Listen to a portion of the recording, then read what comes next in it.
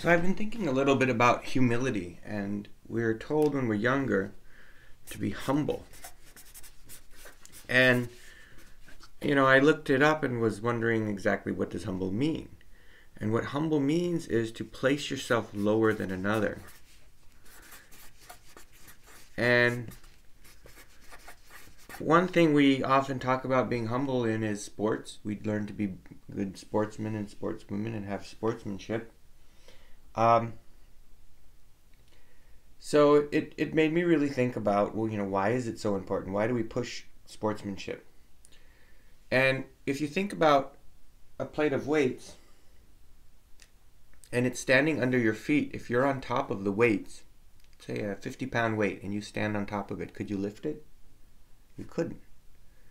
You'd have to pick it up above your feet, make it equal with you, or put it above you even better. You'll lift more when it's above you. So the question is, you know, why is being humble good and placing yourself lower than someone good? Number one, you can lift people up when you're underneath them. And the opposite of that, obviously, is to push people down. And so when you put yourself above somebody and you're bragging, you're gloating, you know, especially if you just won an event, sporting event, let's say, they already know you beat them.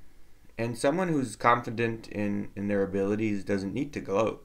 I know sometimes we're excited and we're surprised, but sometimes without realizing it, by not being humble, we're trying to place ourselves above somebody and push them down.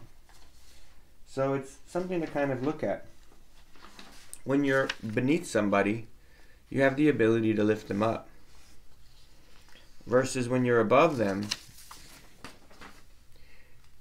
you're going to be making them feel the pressure of your weight and push them down. Now, some of us are strong enough to withstand being pushed down, and when someone teases, makes fun of us, or brags, we don't let it bother us, but we really know it hurts. We know it hurts because it's being we're being judged, and we know being judged doesn't feel very good. Feels terrible when someone's especially if you're having a bad day, if you're sensitive uh, at that moment. But, you know, one thing to consider is where, what does jealousy come from? You know, jealousy comes from inequality. So when we put ourselves above somebody,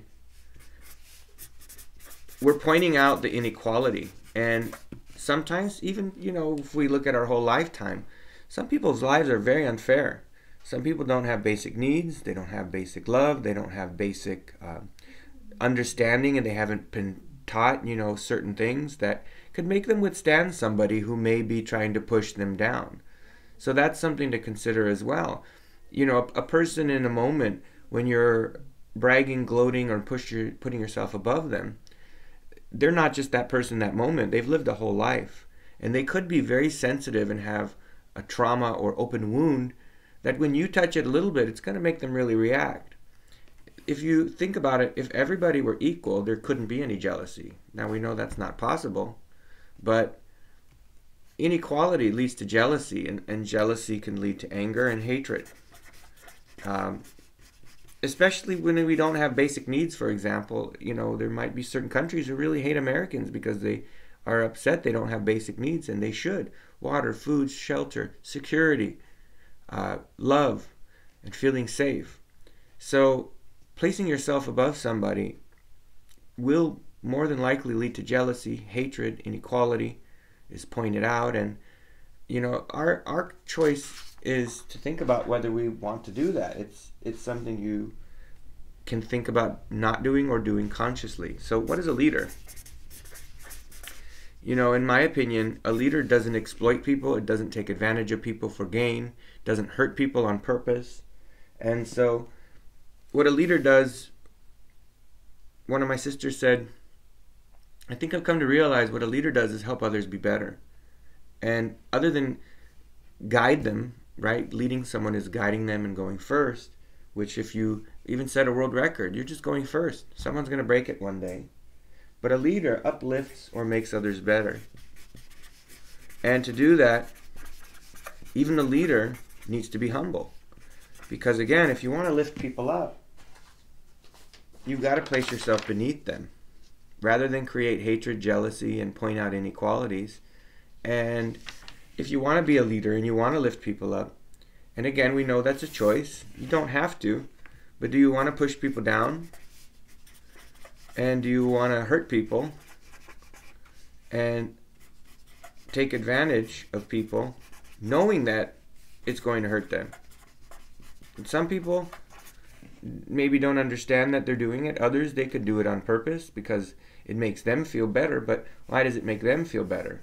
Because other people have pushed them down and make them feel badly. So they're trying desperately to make themselves feel better at the expense of others because the world has been mean, cruel, and has hurt them and pushed them down. And so they're repeating the cycle. So that's just something to consider. You know, why should we be humble? It's so that we can lift others as opposed to pushing them down. And that's exactly what a leader does. And that's exactly what you want to do for yourself is lift yourself up. But not at the expense of others, not at the expense of jealousy, and not at the expense of making others feel badly because our competitors make us better. If we're talking about sports, uh, they bring out the best in us. And someone who makes you better shouldn't, shouldn't hate them. But I understand in life, especially basic needs, there will be inequalities, which is not right. Uh, then there comes luxuries like a car or a house that is very fancy. Those aren't needs, but people can be jealous of those as well. But it's just an understanding of how humility can be a very positive thing, and it takes strength and it takes discipline, which makes you stronger exercising anything difficult. So it is difficult sometimes to be humble, and again, it has a lot of positive consequences, and the opposite has a lot of negative consequences. Not being humble and placing yourself above others could really hurt them.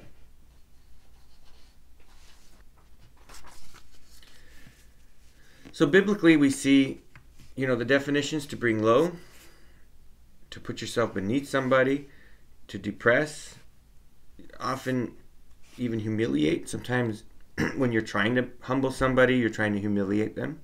So the word or root hum is in there.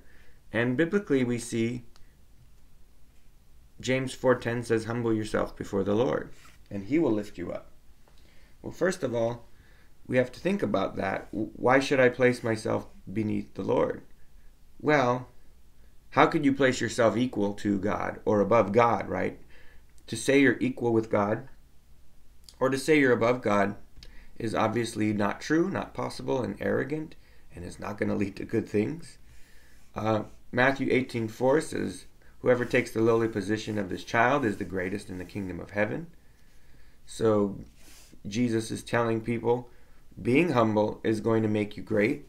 Again, it's going to help you lift others up instead of push them down, which is very close to loving them. And um, Matthew 23:12, for those who exalt themselves will be humbled.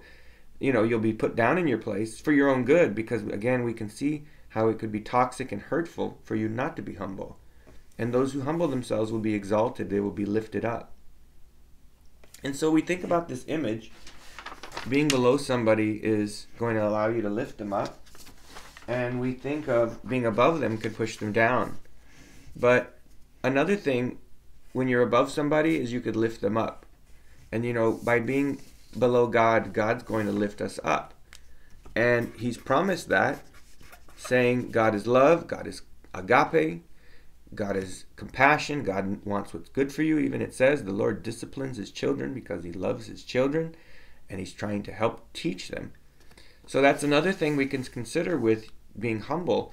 When you're above somebody and you know you're above them in an achievement, academic achievement, sports achievement, with money, with power, if you know you're above someone, you can push them down, but you can also lift them up. And God knows He's above us and has made the promise to lift us up. And that's one of the reasons it's important to remember to humble ourselves before the Lord and place us there, place ourselves below the Lord so He can help lift us up. And so we can then be lifted up and help lift up others as well. We, they call that glorifying God, lifting up God. So by having God above us, we can lift Him up even higher and He's going to take us with him, and we're going to take others as well.